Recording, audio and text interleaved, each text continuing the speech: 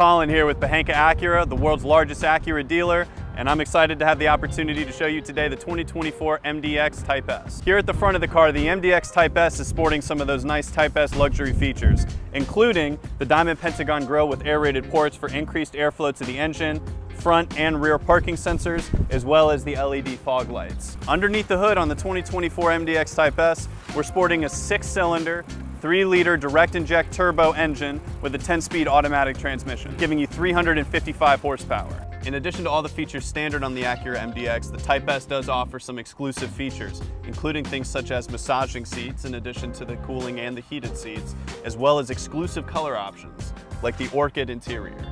The 2024 MDX Type S is sporting 21-inch alloy wheels with Brembo brakes and self-healing run flat tires.